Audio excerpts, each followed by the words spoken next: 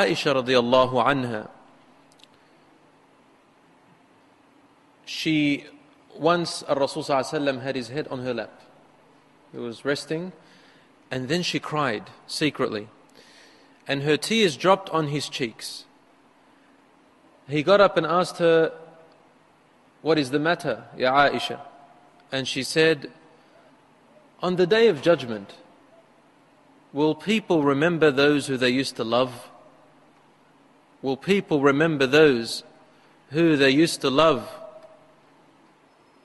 And the Prophet, peace be upon him, sat up straight and sat up straight and said to her, Ya Aisha, there are three moments in which no one will remember any of those whom they used to love. It is the moment when the books are about to be received. And the second one is when the deeds are about to be weighed. And the third moment is when the person is about to cross the bridge bestowed over hellfire, as-sirat. Last week we spoke about that second moment, when the deeds are weighed. Now, the people or the person has seen his or her deeds. They have received their book. Or maybe their book is delayed to be received in their right or their left or some people have received it in their right or their left. Each person on that day is being judged in their own accord. And what happens to them is different to anyone else. But at the end of the day, everyone receives their final destination and is either in heaven or hellfire. Some people have had their deeds debated and so these people who debated them, they are the people who denied that they had done a sin. These people are destined to some kind of punishment because they will deny, even on that day. The believer's deeds are only shown in front of him or her, but they don't deny. They admit everything. Some of these believers, Allah will make them come so close to Him and will remind them of some secret deeds which were not recorded or some secret deeds that are recorded but no one knows about them except Allah and He reveals them to that person. And then He says to him or her, without any interpreter, no translator between you and Allah subhanahu wa ta'ala. Every person, Allah will tell them, remember, when you did this, I have forgiven it. The disbeliever, Allah will also tell them, but not of secrets. He'll tell them their secrets and they're open, and He'll tell them, you will be, you will receive the punishment today. And then he doesn't speak to them anymore. Then they move on now to the scales. There, the scales is in order to see or to show the servant what their deeds were worth. Maybe, now that you have seen your records, and you see that there is possibly a misery or possibly hope, it depends. No punishment has started yet. Allah says in the Quran, وَمَا كُنَّا مُعَذِّبِينَ حَتَّى نَبْعَثَ رَسُولًا We will never punish anyone until we have sent a messenger. In this world, and this also means that in the hereafter, you will not be punished until your deeds are shown, until you know that you deserve it. There are many authentic hadiths speaking about the fact that on the day of judgment, people will not be, will not proceed into, if they are going to punishment, until they are shown that they deserve it. Until the truth is shown. Until the word of Allah subhanahu wa ta'ala is proven to them. To the point where their body will speak, and so on and so forth. So the deeds show you your weight. What is your weight? Not your physical weight. This is not a scientific calculation. This is some different calculation. It's the calculation of a world that, does that is not fit within the realms of the physics of this world today. But rather, it is a different world that has different circumstances, different rules, different science. It is your value. What are you worth in your deeds? What do you deserve of rewards and what do you deserve of punishment? What is your worth? And we mentioned this in detail last week. The deeds are placed. The scale is unknown in its form to us, but it is a scale, a type of scale that weighs. And Rasul uses metaphorical words such as kaffa, which means one palm, the palm of a scale, and the other palm of a scale. He speaks about one side being heavier than another. It's a metaphor. How exactly his feature is unknown to us. But it is something that weighs. On that day, when the deeds are weighed, it is revealed completely to that human being or that jinn what is about it is what, what their worth is. They are either very high in worth or extremely miserable in worth. And at that moment when the scales are being weighed, more quarrels and debates occur. Every person has to prove themselves that they are not guilty, but no one can. If Allah had written so, they are. If Allah hadn't written so, they are not. However, more quarrels occur. Because people see the weight, that if it's heavy, you enter paradise, there is good. Or if it's light, meaning light in, in good deeds, there is misery and punishment and fear. Everybody will want to come and try to think of a way how they can make the scale heavier on that day. Maybe there's another chance. Maybe there's still a way. Maybe it's not it. Look, before God revealed certain secrets, that weren't revealed in front of everyone. Maybe this time there's certain things we can still bring out. We gave an example last week. Our Rasul speaks about a person, a man who comes on the day of judgment, and his deeds are not enough. He comes back in misery after being weighed to be given the sentence. You see, you go back and forth, taken here, taken there. Angels bring you back, different angels take, escorting you, like being in a courtroom and the police officers are there waiting to take you or to leave you, and so on. Some police officers escort you into the van, others transport you, some of them put you in shackles, others imprison you, and so on. On the day of judgment, on much more of a, uh, of a, of a terrifying scale, this is similar to that. So then, this man is given a card in which the words are written, La ilaha illallah Muhammadur Rasulullah. There is no God worthy of worship except Allah, and Muhammad is his final messenger. And he says, Oh my Lord, how is this going to do for me? It is placed on the scale, and Rasul describes that the scale tosses over, and all those bad deeds become very light compared to that word. What, is this, what does this mean? It means that the word La ilaha illallah is heavier than, than anything else. The, the, the, the, the actions of Tawheed and the belief of Tawheed is heavier than anything else. This man was a muwahid. This man possibly prayed, but never made any, and did his compulsory things, but never made any partners with Allah subhanahu wa ta'ala. However, his bad deeds are just too many. Too many to count. But the word of Tawheed beats it. What is the conditions of the word of Tawheed? it is to live it in accordance with its conditions. To worship Allah and not associate any partners with Him whatsoever. To love Allah, to be loyal to Allah in all of your actions. How can a person love Allah when they do not pray to Him? How can a person um, be loyal to Allah subhanahu wa ta'ala when they are hypocrites in their actions? So this person is free from hypocrisy, free from disloyalty to Allah subhanahu wa ta'ala, and so on and so forth. But the word of Tawheed is the heaviest on that day. The question to us is Do you really love Allah? If you do, you will fulfill that word of Tawheed, La ilaha illallah Muhammadur Rasulullah.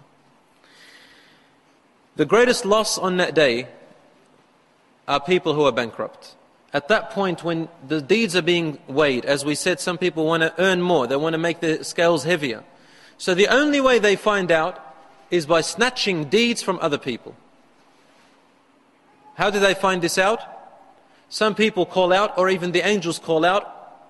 Allah orders to be called out to the people who have been wronged in this world. Who has been wronged so that now we may compensate them. So now, Allah's rights have been dealt with. You found out. Your deeds to Allah, you found out. But now there's a second thing which is even worse than the first one, or could be better than the first one. What is it? The rights of people The rights of people. Allahu A'lam, but from my understanding of the verses and the, the way the hadiths are narrated, this is probably the moment where the rights of people are dealt with. How, do, how what, there is one hadith, very strong hadith that give, well, there are many hadiths, but this one hadith that I want to narrate to you. Al-Rasul said to his companions, this Sahih hadith, he asked them, أَتَدْرُونَ مَنِ الْمُفْلِسِ Do you know who the bankrupt person is?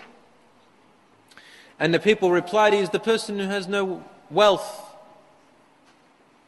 He said, No. The bankrupt person is the one who comes on the day of judgment. And he or she has done so many good deeds. They've given charity, they've prayed, they've fasted, they've tahajjud, everything. They've done so many good deeds. Now, how do you know that you've done good deeds unless you've seen them? So you've seen them and your weight is there. You've seen them, they are heavy. You know their value. You don't want to lose them. You've done all these good deeds and you think you're going to enter paradise. وَقَدْ شَتَمَ هَذَا But he or she has abused this person, or stolen from this person, or harmed this person, or backbit this person. What happens on that day? Allah says, وَلَيْسَ رَبُّكَ بِظَلَّامٍ لِلْعَبِيدِ Allah does not oppress His servants. In the Hadith al-Qudsi, Allah subhanahu wa ta'ala says, يا عبادي, my servants, لقد حرمت الظلم على نفسي إني حرمت الظلم على نفسي I have made oppression forbidden upon myself وجعلته بينكم حرام and made it between you forbidden فلا تظالموا so never oppress one another Al-Rasul sallallahu alayhi wasallam continues he has harmed this person or that person on that day when that person comes to call for their right Allah orders the angels to take from the deeds of that person. So he comes and takes them from the scale and gives them to the scale of the person of the victim. That victim's scale begins to become heavier. Depending on how much zulm, how much oppression that person has done to the victim or victims, Allahu A'lam, more and more of their good deeds are taken off the scale. So now look at the comparison. The oppressors even it could be, a, this is a believer. The oppressor's scales is now twisting the other way. And the victim's scale is now getting heavier on the good side. You look, imagine that. You think to yourself, I hope this is all that I have victimized. Oh God, who else is there? This is what we're going to be thinking.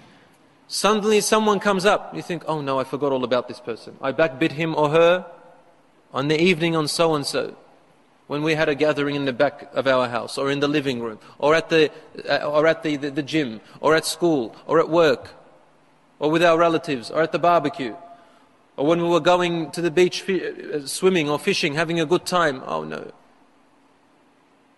I was celebrating too much that I forgot. I forgot that the day of judgment is coming. So we backbit this person, harmed that person, stole from that person, so on and so forth. And these people still come, they keep coming up. And on that day you remember them. We remember who we had victimized. And the more they come, the more we, we are afraid, we're terrified. Where did this person come from? Where did that person come from? Oh, you are reminded. You are reminded and so the deeds are taken away. Rasul says, this person becomes bankrupt of all the good deeds. Now, if there are more victims that come along, what happens? They complain, Ya Rab, Ya Rab. And the man said, and the angels say, we have this person, the oppressor, has no more good deeds to give. They're all run out. Allahu Akbar. So then Allah says, very well, we have forbidden oppression today take from the victim's bad deeds and add them on top, on top of the oppressor's bad deeds. And so, ya ikhwan, brothers and sisters, the person, Rasul says, he, is, he or she is dragged away and placed into hellfire upon their faces. This is a believer or a disbeliever.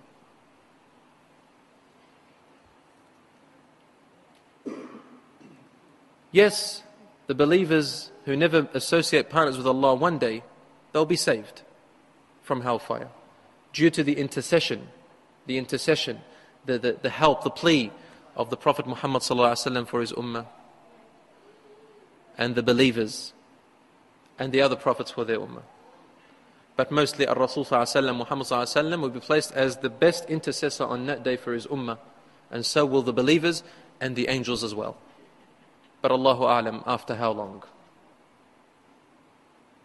Rasul tells us a person who on the day of judgment is brought who had lived the most comfortable and luxurious and happy life ever from the beginning of creation to the end of time and he will be dipped once into hellfire because of bad deeds, once, and taken out, and the angels will ask him, What do you remember? He will say, I do not remember a single happy moment ever. Truly and literally, the man forgets every single happy moment he has ever had.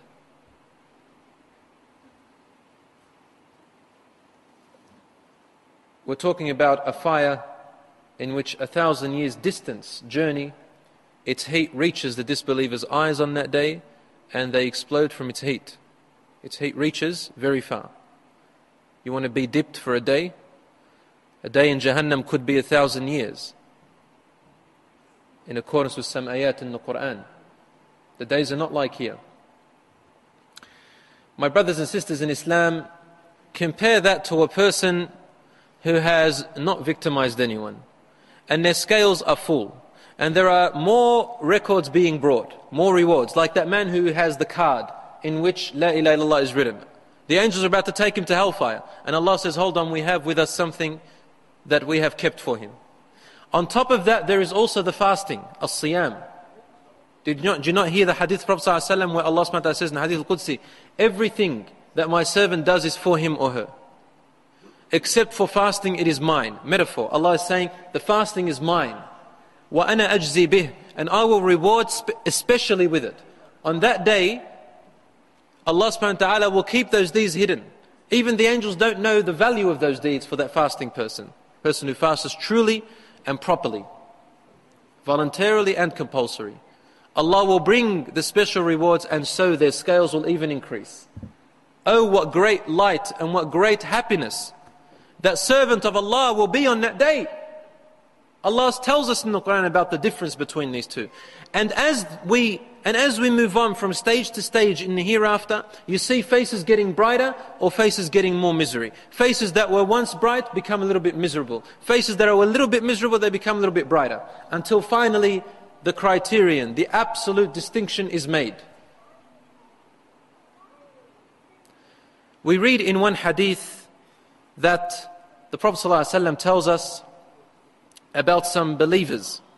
They will be gathered on the day of judgment. Allah says in the Quran, first of all, يَوْمَ نَحْشُرُ الْمُتَّقِينَ إِلَى الرَّحْمَنِ وَفْدًا The day we shall gather those with taqwa, those who, who protected themselves from the things which Allah is, is displeased with, unto the most gracious like a delegation.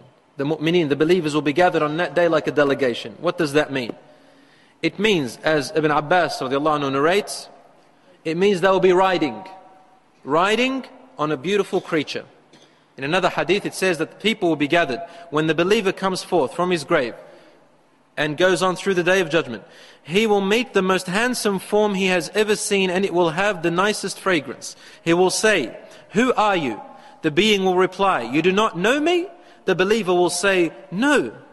But Allah has made you sweet smelling with a handsome face. The being will say, I am your righteous deeds.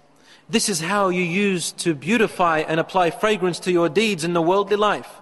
I was riding upon you in the entire length of your worldly life. So will you not ride upon me now? Come and ride on top of me, this beautiful creature. So the believer will therefore mount the creature. This is the meaning of Allah's statement. The day we shall gather those with taqwa onto the most gracious like a delegation. Now, this is the, the believer state. However, do you think that maybe the believer will lose that position as they progress through the hereafter?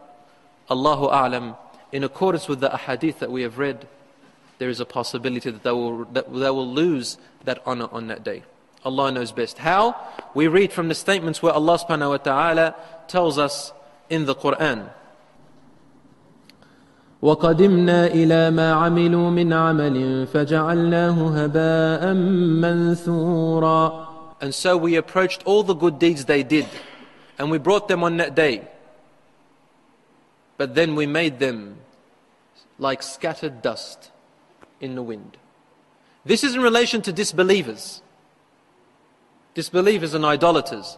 However, this is, if this is their state, why does Allah make their deeds scattered? Because the good things that this, the disbelievers did in this life, if they were not sincerely for the sake of Allah, and they were not in accordance with the laws of Allah, they are not accepted.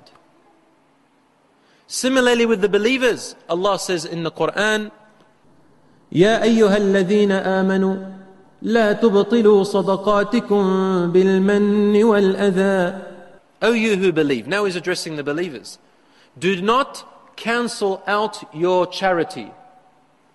In other words, your good deeds. But here the example used is the charity. Do not cancel out your charity bilmanni wal adha by, by, by means of insincerity or harming others. You want to boast about what you do. Hypocrisy, insincerity. Or you do good deeds in order to look better than someone else so that you can take their position, for example, to harm others. There are many ways. Allah tells us the believers themselves can lose their honor on that day. So all the deeds are brought. You see them. They are weighed. They are heavy. Suddenly they lose their weight. Suddenly they lose their weight. فَلَا نُقِيمُ لَهُمْ يَوْمَ الْقِيَامَةِ وَزْنًا We recited a verse last week about some people whom Allah subhanahu wa will bring their deeds and all those good deeds that would have been heavy, they would have been heavy. Allah says, on that day we will give them no weight. They'll have no value. They will have no value. Here is another example. Al Rasul tells us in Sahih Hadith, which is in Muslim, he said, Iyakum wal hasad, beware of jealousy. Jealousy is when you are envious towards your brothers and sisters and you wish that they didn't have the blessing that they had. And so you are jealous of them and you hate it. And you begin to possibly backbite them or try to want to do things to make them lose it. So beware of jealousy. فإن الحسد يأكل السيئات كما تأكل النار الحطب. For verily jealousy نعم What did I say? آه عفوا فإن الحسد يأكل الحسنات كما تأكل النار الحطب For verily jealousy Jazakallah khair. Jealousy eats away your good deeds just as fire eats away wood. You see those good deeds they're shown to you. Suddenly they have no weight. Why? Because the warnings Allah gave us, we did not heed them. And one of the ways is harming the rights of others. They will take your deeds. They will take your deeds. How will they know that you had deeds if, you, if they weren't shown and valued? Huh? Give you an example. What's gold to us? Why is it so? I mean, if you show a child, you show a child gold. A child doesn't care about gold or money, about that paper, $20 paper or the $50 paper, that $100 paper. Who cares about it? But as that child grows old and begins to learn that, that paper money has value, gold has value, what people think of it, what it could do for you, then they want it. Greed begins to develop. On the day of judgment, same thing happened. But it's not gold, and it's not pearls, and it's not wealth. Rather, it's the deeds that people will be greedy for. Now, wallahi, they will be greedy for them to take them even. And you know what? No one can trust anyone. Wallahi, the child, eh, the son or the daughter, will try and take good deeds of their father and mother. And the father and mother will try to take good deeds of their son and daughter, of the brother, of the sister, of the wife, of the husband. Anyone, take even one good deed. We want them. We want to make our scales heavier on that day. So the children will blame the father and the mother if they can. And the father and mother will blame the children if they can just to get that extra deed and those rewards. Compare that, however, to pious believers who used to be companions in this life. On the day of judgment, they will congratulate one another. they will say congratulations. And the other one will say congratulations. One of them will say, look what I got. The other one will say, look what I got. Alhamdulillah, we were believers and we led each other to the right path. They grab each other's hands and they cross over. And they go to Jannah awaiting at the door before Muhammad arrives for the door to be opened. What a beautiful ending. Compare this to that. Allah says in the Quran, which we recited last week, والسماء ذات الرجع والأرض ذات الصدع إنه لقول فصل Allah swears an oath, He says, this,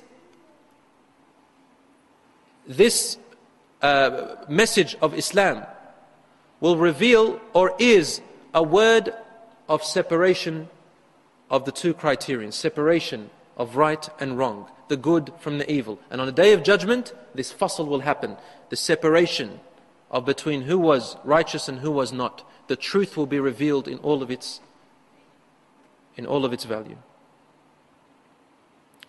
So now the scales have been resolved. What is next? Now the sentencing. Now the sentencing.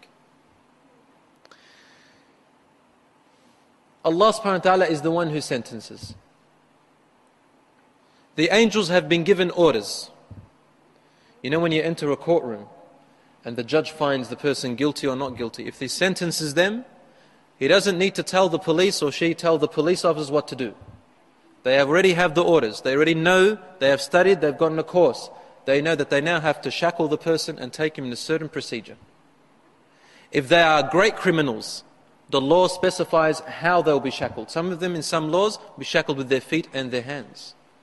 Some of them are placed distant from everybody. They are placed in a, in, in a glass room so thick. Some of them are in different ways. Some of them stand with you, and then the police come and take them from their families. Some of them get to say goodbye. Some of them cannot, depending on the level of the crime and the threat of the criminal, the danger. On the day of judgment, same thing will happen. And also for the believers who have passed, the sentencing will happen of good. What will they receive? And so there are angels of blessings and there are angels of torture. And there are different various angels, angels for various jobs to do. And so the person's deeds which failed him or her, the sentencing will be in accordance with that. They'll be driven to the fire those whose deeds failed them. They'll be driven to the fire. Allah subhanahu wa ta'ala describes how He will drive the believers and the disbelievers. We recited before the verses. On that day, يَوْمَ نَحْشُرُ الْمُتَّقِينَ إِلَى الرَّحْمَنِ وَفْدًا the day we shall gather those with taqwa onto the most gracious like a delegation. Ibn Abbas says they will be riding on beautiful creatures. So imagine that, Allahu Akbar, those who pass. You're riding on this beautiful creature full of light Allahu Alam what it looks like, but it's beautiful and smells beautiful. Imagine in your head, uh, although this is not it, but I want you to imagine yourself coming before the king. The king has summoned you, a great king, and he wants to reward you with something. You've done something, he wants to reward you. On the way to his palace, he sends people with beautiful, well groomed horses, the best and fine horses. And you are to mount those horses. And you have to come riding in the, with these horses to face the king, this beautiful king who will reward you. On that day, you will reach Allah subhanahu wa ta'ala finally, or you will be driven to heaven, into the doors of heaven, where you will meet Allah subhanahu wa ta'ala on beautiful creatures that you will ride on. Some of them with nur, light as, light as, as much as mountains, some of them as much as men. Some, the nur, it is the light. It is the light on that day which drives you ahead. It is the light which you have earned from your deeds in this world. It's actually it's actual light. Because everything else will be dark. If you have no light, you will not know your way. And the angels will drive you the other way. The light will guide you on that day. Real light, nur. Rasul tells that on that day he will notice his, his Rasul will notice his ummah, those who followed him on that day through their light. The light which emanates from their faces, their arms and their legs. غُرْلًا muhajjalin. They are like the striped horses among dark black horses. They will have whiteness coming out from their faces, their arms and their legs. Regardless of your color in this world, you will have that nur. And Rasul will recognize you with that.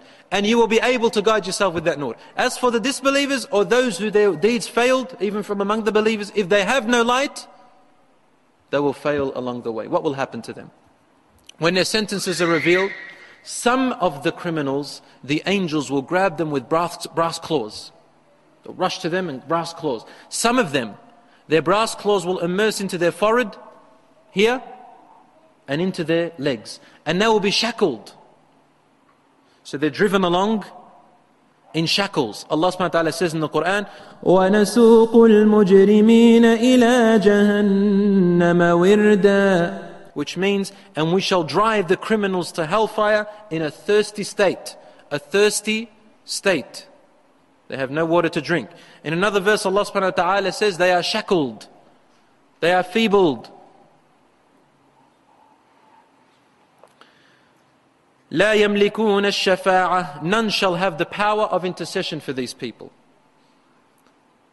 There will be no one who can intercede for them like the believers who intercede for each other. These disbelievers will have no one. And they will call out as they are driven.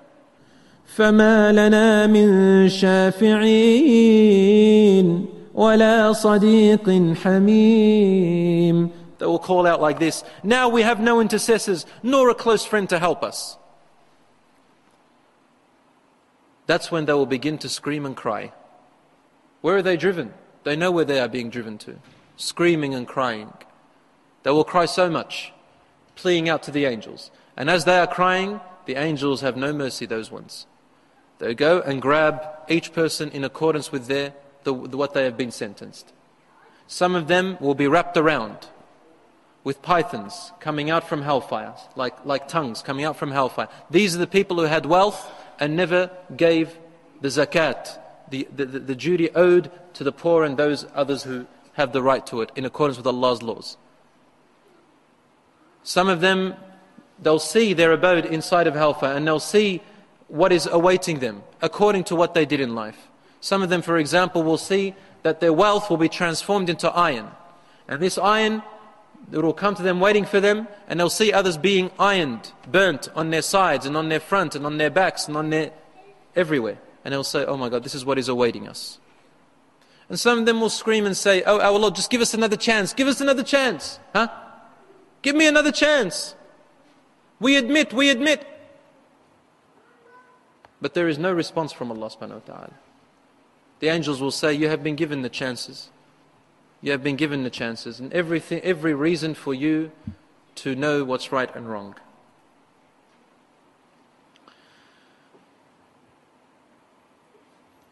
Some of them will be thrown with the brass claws into Jahannam. Some of them will be led into Jahannam. Some of them, Jahannam will grab them. Some of them, Jahannam cannot have any way to even reach them. And the angels will fly with them. Let's have a look now. What is, am I talking about? Just before they are taken to Jahannam, and Allah describes as well, وَسِيقَ الَّذِينَ كَفَرُوا إِلَى جَهَنَّمَ زُمَرًا Those who disbelieve, they will be driven to hellfire in rows. The worst of them in the front the worst of them in the front. And as you go back, the, the less worse. But they're all bad. So the worst of them in the front will receive the first punishments and the worst of the punishments among the disbelievers. There will be believers, however, they showed off their deeds. The scholar who showed off his knowledge for the sake of being called a scholar. The reciter who showed off his or her recitation so that people can praise them. The charity giver who cha- gave charity so that people will say, What a generous person. The person who died a martyr, well, died in saying in the cause of Allah, saying that I died for the cause of Allah, but only so that people can build monuments out of him or her or to be called a hero. Their intentions were not for Allah, their intentions were for people. They were insincere. These among the believers will be the first who will, who the, with whom hellfire will be ignited. Will they be saved later on? maybe with the intercession of the Prophet ﷺ. But the, the disbelievers will be in there forever. Those who chose to disbelieve in Allah subhanahu wa ta'ala. They will all reach the third and last station. We said the hisab, accountability has been done, receival of, of the books. Secondly, the weighing. Now, the crossing. What is this crossing? Allah says in the Quran, ثم لنحضرنهم حول جهنم جثيا then we shall bring them around hellfire. Jithiya. Jithiya, there's a difference of opinion in what it means. Some of the Sahabas said it means sitting, sitting like that with shackles, waiting to cross. Others, they said standing, but with shackles. Then Allah says, ثم لننزعن من كل شيعة أيهم أشد على الرحمن عتيا Then indeed we shall drag out from every sect all those who are worst, rebellious against the most gracious Allah subhanahu wa ta'ala. So they're the first who Allah will order the angels to take out, receive the worst of punishment before everyone's eyes.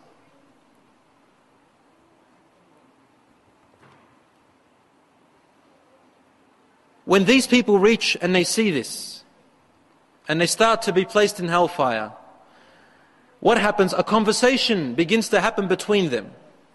What do they say, the people of hellfire? Allah says in the Quran, حتى إذا اداركوا فيها جميعا قالت أخراهم لأولاهم قالت أخراهم لأولاهم ربنا هؤلاء أضلونا فآتهم عذابا ضعفا من النار until they will be gathered all together in the fire or around the fire. The last of them will say to the first of them, Our Lord, these misled us. So give them a double torment of the fire. So now the disbelievers themselves begin to blame each other. And when they see the worst of them being thrown, they will say, They're the ones, our Lord, look, look, please give them at least double the torment. They know they can't get out of it. So what do they say? Give they they are the ones who led us astray, so at least give them double our punishment. May them burn double ours. So what happens then? Those who will be taken, they will say, back to the people who blamed them, they will say, Why are you blaming us? You are equal in the sin as we were. Because you responded and you helped. Usually they are the leaders and the people who led the people astray. They are the same. What does Allah reply to them? ثم لنحن أعلم بالذين هم أولى بها صليا When they start saying, Oh our Lord, give them double and give them this and give them triple, Allah says, Then verily we know best those who are most worthy of being burnt therein and their level. And Allah says, قال لكل ضعف ولكن لا تعلمون He will say, For each one there is a double torment, but you know not. Meaning, for those who we know reserve the double torment, we'll give them. For those of them who deserve only a lesser torment, we will give them. We know this is none of your business. Everybody, you are responsible for your own deeds. As for the believers, what will happen to them? They will be looking at other believers who are not able to pass, and they feel sorry for them. And so they begin to ask God and supplicate to Him for them. But before that happens, something occurs to both sides. Allah says in the Quran now after this, He says, وَإِن مِّنكُمْ إِلَّا وَارِدُهَا كَانَ عَلَى رَبِّكَ حَتْمًا مَّقْضِيًّا ثم ننجي الذين اتقوا ونذر الظالمين فيها جثيا which means there is not one of you but will pass over hellfire there is not one of you but will pass over it hellfire this is with your lord a decree which must be accomplished then we shall save those who had taqwa and who shall leave the, and we shall leave the wrongdoers in hellfire, jithiya, in misery, down on their knees, feebled. وَإِن مِّنكُمْ إِلَّا وَارِدُهَا There is not one of you but will pass over it.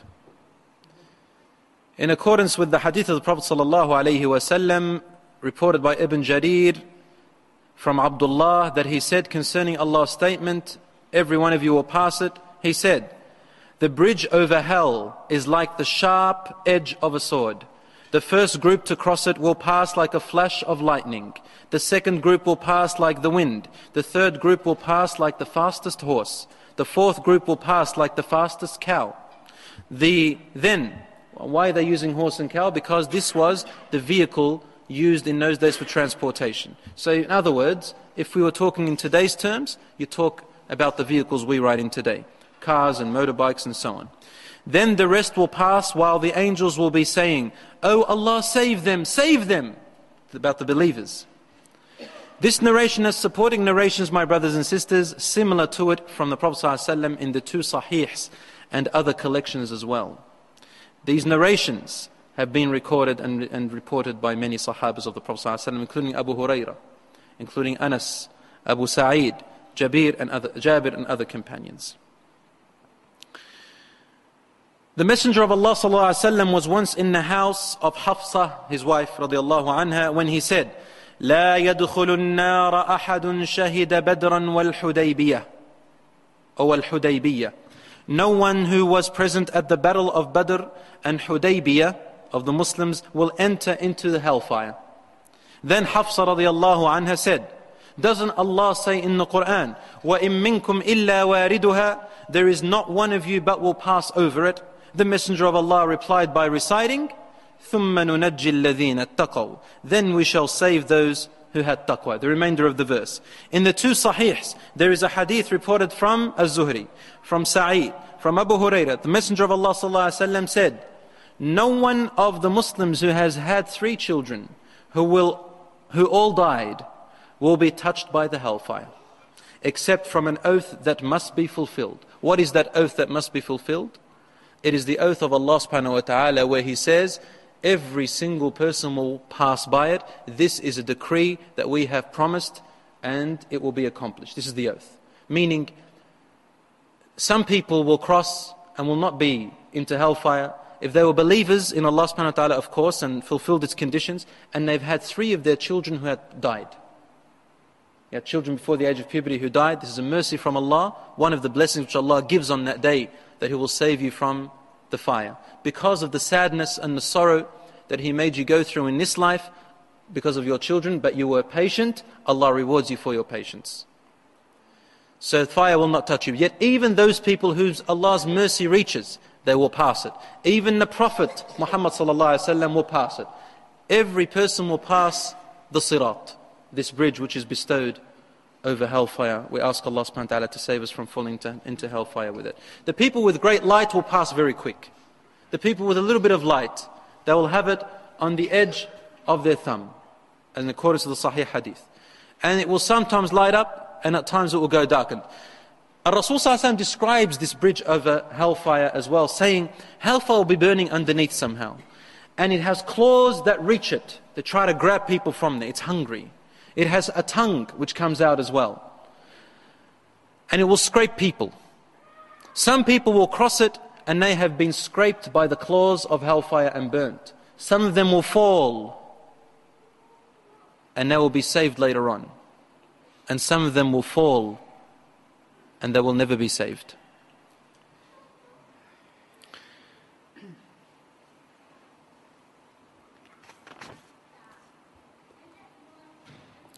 Now, here, the disbelievers, when they come to pass it, it means that they will go onto the bridge and then they will fall. They will not be saved. There will be people who are hypocrites. They used to say we're Muslim, but they weren't. And when they see the light on people among the Muslims who they used to know in this life, and find and discover how fast they're, they're, they're, they're crossing, they plead to them. They will say to them, Unzuruna. This is in the Quran, in Surah Al-Hadid. Unzuruna. Please wait for us. Wait. We used to know you in the former life. In other verses says, we used to know you.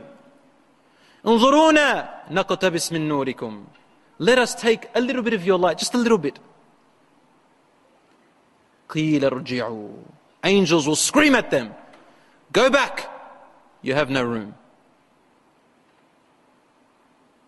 رجعوا وراءكم فالتمسوا نورا Go, go back and you try and find light behind you. Meaning, what did you leave behind of good deeds for you to find any light? The only light on that day is the light which you put forth and left out and left behind. Meaning, you will find on that day.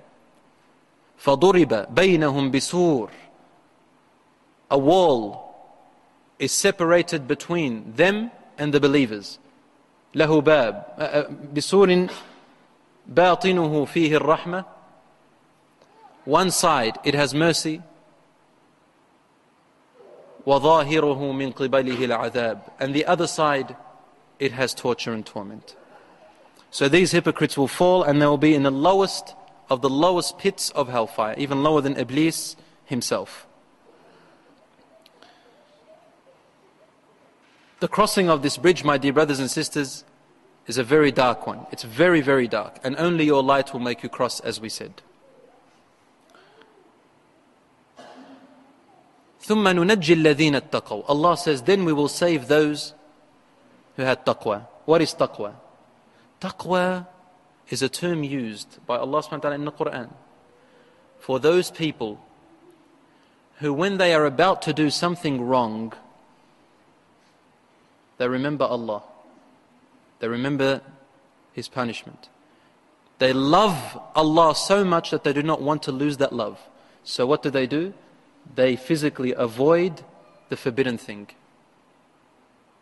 And they don't question, why is it haram? I'm going to keep doing it until I'm convinced. Why? Allah told you it's not good, don't. And it also means those who did the wrong, but then later on remembered Allah and repented, made tawbah. These are the people of taqwa. These are the people who will be saved when they cross. And some of them who fell into hellfire, they'll also be saved later on through the intercession, as we said, of the angels, the believers, and the Prophet Muhammad. Now there is a group of people who will reach, in accordance to some narrations, some Sahabas interpreted this verse, saying that they will reach a high cliff on the bridge, somewhere, very high on the cliff. But they have not passed yet. And they will be stationed there. They can't go forward, and they are also not falling into hellfire. So they're saved from the fire, but they can't also go forward. They're right in the middle.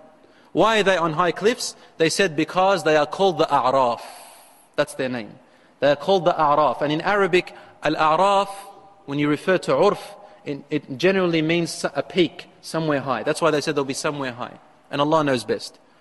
Also, Al-A'raf means those who you know. Al-Urf, Ma'ruf, or uh, not, not Al-Urf is uh, customs, but someone who is known.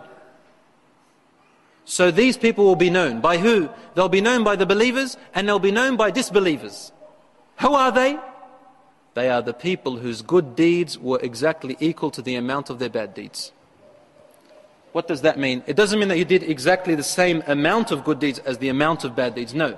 It means that the value on that day, you might have lesser good deeds, but their value is heavy, or you might have more bad deeds, but their value is less. And so it's equilibriumed until they equal on the same on the scale, the same worth. Same, this is worth this much, is worth this much, oh, they're equal. So what happens to them? Their good deeds protect them from the fire, but their bad deeds prevent them from going forward.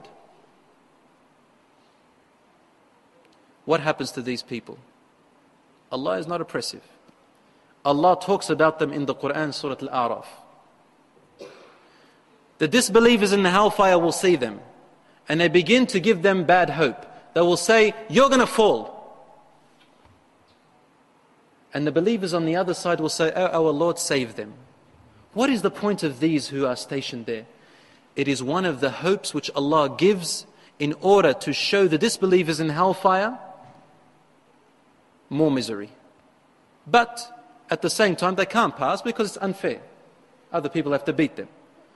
They are left towards the end.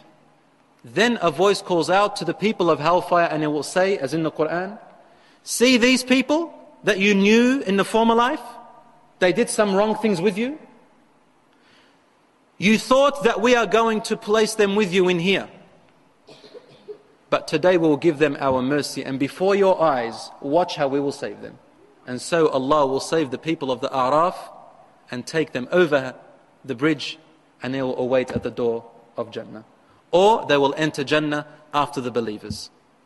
So Allah says to the disbelievers in hellfire, this is one of the torments for them. These people you thought will also put them with you, we've saved them. But you, you don't deserve it. That's how bad your deeds were. That's how bad your belief was. وَمَا رَبُّكَ بِظَلَّامٍ لِلْعَبِيدِ Your Lord is not an oppressor to any of His servants. No one. Muslim or non-Muslim. Now we reach heaven and hell and the entrance of it. So I want to stop here inshaAllah. Heaven and hellfire, inshaAllah ta'ala. But I leave you with this story about the good deeds. There was a man by the name of Malik ibn Dinar, a great scholar of the past. This man was a thief before he became a scholar. And he used to drink alcohol. One day, Allah wanted to guide him, and one day he saw a tyrant man who had an employee, and this employee was poor. And the man would not give him his, his wage for the day. So he said to him, Give him his wage, Malik ibn Dinar. He had some mercy. And the tyrant would not give him. So Malik ibn Dinar took out some wealth and gave it to the poor man and said to him, Tell your daughters tonight to make dua for Malik ibn Dinar. They made dua for him. And one day he wanted to get married. No one would give him their daughter because he was a thief and an alcoholic, so he bought a slave. There were slaves in those days. He bought a slave, freed her, and married her. And then Allah gave him a daughter named Fatima. At the age of five, his daughter died. He loved her so much and he was saddened for her loss. Time passed, and one day he saw a dream, as if the world had ended. And he saw in front of him the fire. And behind him there was a a dragon chasing him. He said, I ran away from the dragon and I reached a cliff. And in that cliff I was about to jump, but there was hellfire. So I turned away and the dragon's behind me. He said, I ran and reached the ocean, the sand and the ocean. And there I saw a very old man. He couldn't even speak to me. So he pointed this way and said, Go that way. I went and I found a cliff and in that cliff there were children. And the children called out, Ya Fatima anqidhi abaki. Fatima, save your dad. And then I saw my daughter Fatima. She came up to me and she did this with her hand and the dragon faded away. And she said to me, Dad, look, your bad deeds are the dragon. They weren't big enough to save you. And your good deeds are the old man. They're not even enough to save you. The bad deeds are so bad that they're so big. And your good deeds are so bad that they couldn't save you. And then she recited, ألم يأن للذين آمنوا أن تخشع قلوبهم لذكر الله وما, نز وما نزل من الحق ولا يكونوا كالذين أوتوا الكتاب من قبل من قبل فطال عليهم الأمد فطال عليهم الأمد فقست قلوبهم وكثير منهم فاسقون Which means, is it not time for those who believe to turn to Allah subhanahu wa ta'ala before their hearts harden?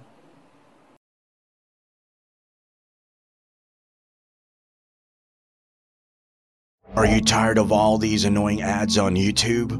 Are you worried that a haram video might pop up? Well, the One Islam TV app is here to solve these problems, inshallah. The One Islam TV app is 100% free of any ads and is safe to browse for your peace of mind. Watch or listen to lectures and lessons while you work, rest, or drive with your device switched off. Watch videos on demand or download videos and watch offline. Watch hundreds of high quality produced Islamic reminders, Quran learning videos, stories of the prophets, and so much more. Two to four new videos uploaded daily, inshallah. One Islam TV is 100% run and owned by Muslims, which means a small amount you pay for your subscription is a sadaqah jariyah, continuous charity for you as we use the funds raised to continue producing more beneficial videos and reminders. Inshallah.